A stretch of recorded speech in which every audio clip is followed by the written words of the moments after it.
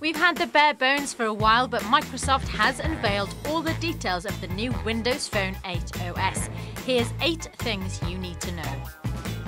All the Windows phones will be available this weekend, that's November the 2nd, folks. The lineup of handsets shown off with the Nokia Lumia 920, 820, HTC 8X, HTC 8S and the Samsung Ativ S. The home screen now uses the whole screen estate and there's a new small tile option for you to fit all your shortcuts into the one screen. Customize the tiles from a choice of three to show more or less of an app.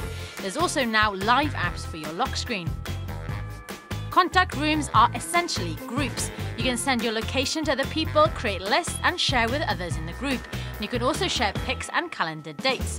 The rooms can also be shared with other people on different phones, not just Windows. Xbox Music allows you to stream your choice of 30 million tracks, and when you create a playlist on your PC, it'll automatically appear on your Windows Phone 8 phone, and there's no syncing needed. SkyDrive is built right into Windows Phone 8. It'll sync all your Office docs, photos, and videos to any Microsoft device. The new Internet Explorer 10 comes with a phishing filter and smart screen application to protect your deets.